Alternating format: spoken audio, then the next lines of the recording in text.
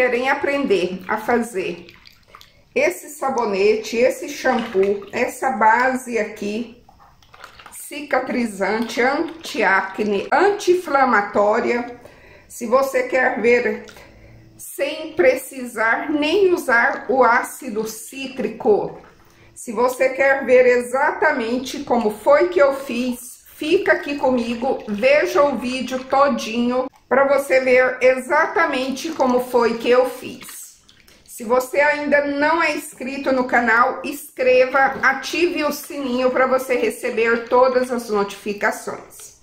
Um beijo grande no coração de cada um de vocês e vamos com o tutorial. De volta com vocês com mais uma receitinha. Ah, hoje eu vou fazer um sabão de casca de melão. Aqui eu peguei, era mais ou menos, menos da metade de um melão, porque ele era muito grande. Peguei as sementes também, vou colocar aqui dentro do liquidificador as sementes e vou picar as cascas aqui.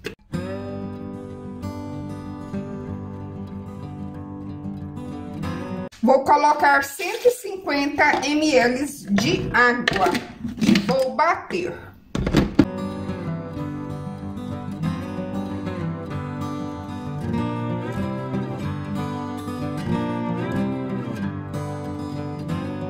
Eu vou pegar aqui só 300 gramas.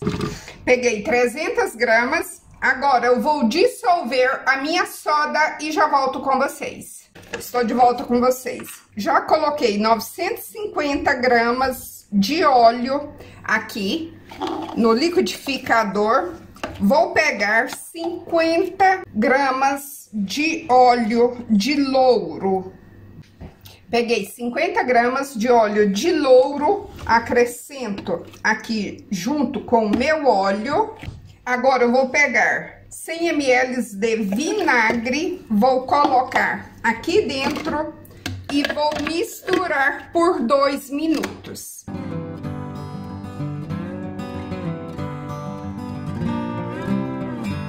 Agora, aqui está a minha soda. Acrescento aqui dentro do liquidificador. E aqui eu tenho um punhado de arruda seca. Eu vou usar a arruda também aqui no meu sabão. Vou começar a misturar aqui e depois, aqui por cima, eu vou colocar a minha arruda.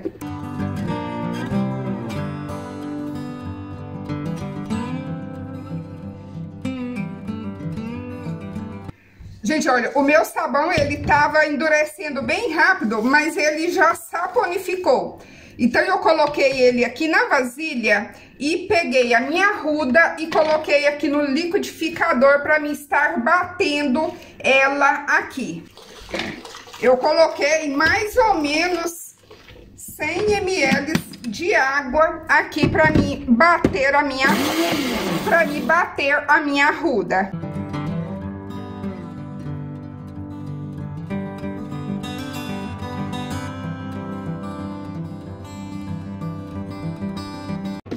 Olha, bati bastante aqui a minha arruda, acrescento tudo aqui, vou abaixar aqui para vocês verem e vou, vou continuar misturando aqui na vasilha.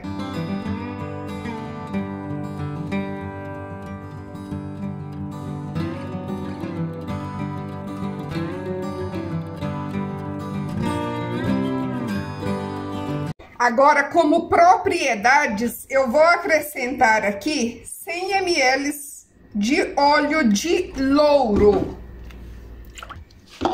E vou continuar misturando.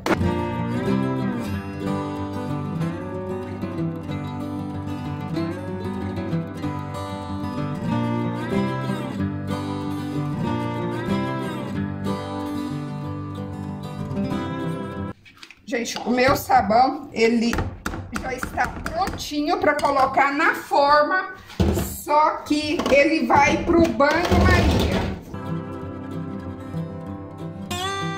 Se você quiser colocar na forma, é só você colocar na forma que ele já tá endurecendo, como vocês estão vendo aqui. Mas o meu, eu vou cozinhar ele em banho-maria e quando ele estiver fervendo, eu volto aqui mostrando pra vocês. Olha, o meu sabão, ele já está cozinhando aqui em banho-maria. Daqui a pouco, eu, quando eu voltar, eu falo pra vocês quanto tempo que foi que eu deixei ele cozinhar aqui. Olha, acredito que dá pra vocês verem bem como é que está aqui o meu sabão. Eu vou cozinhar ele até abaixar o pH aqui do meu sabão.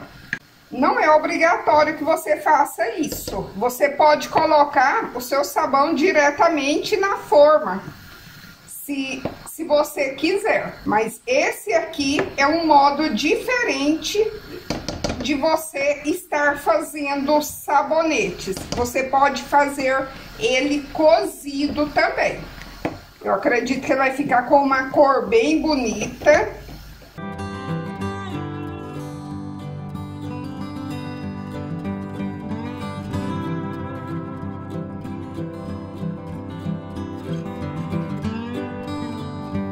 Olha, ele já está com o pH número 7, depois de uma hora. Agora, eu já peguei uma vasilha, coloquei aqui com água para poder estar fervendo. Vou tirar, vou desligar aqui o fogo. Vou desligar o fogo aqui da minha água também, um pouquinho precisava nem de eu ter tirado, né, gente? Porque já que eu ia desligar o fogo, os dois fogos, né? Agora, eu vou pegar meio litro de álcool. O fogo está desligado, todos os dois. Olha, acrescento aqui no meu sabão e misturo. Esse é mais um modo para você que não tem a solução de ácido cítrico aí na sua casa, para você estar fazendo também o seu sabão. Vou deixar aqui da parte e vou terminar de esquentar aqui a minha água.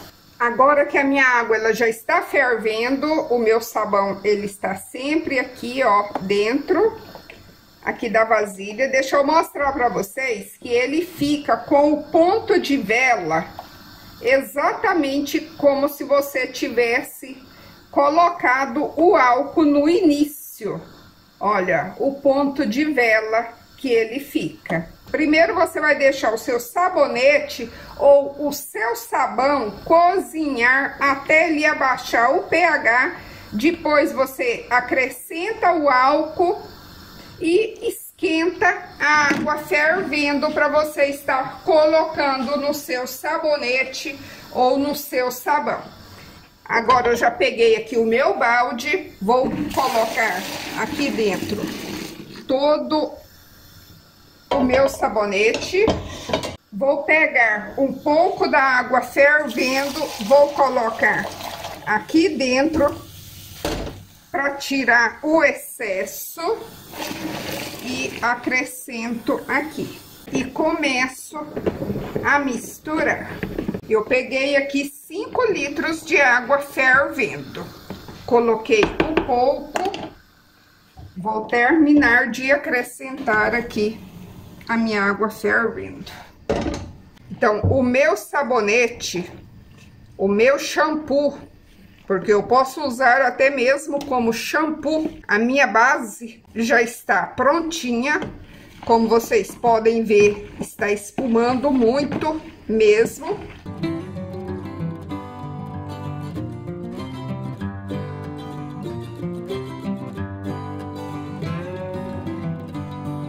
Fica um produto perfeito, um produto de excelente qualidade. Vou mostrar para vocês a cor que ele está também. Olha que espuma mais cremosa. Então, você que não tem ácido cítrico aí na sua casa e quer fazer um sabonete para fazer hoje e já usar amanhã, você faz desse modo aqui. Tem muita espuma aqui, mas eu vou mostrar para vocês.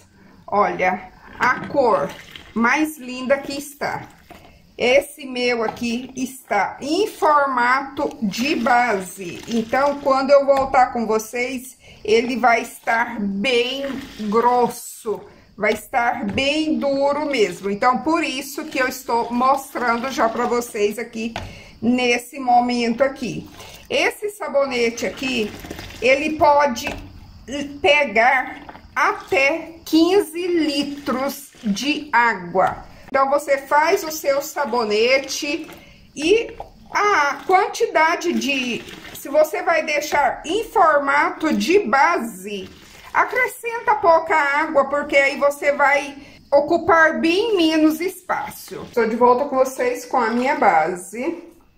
Olha a consistência que ela está. Eu estou voltando com vocês depois de seis horas uma base perfeita mesmo.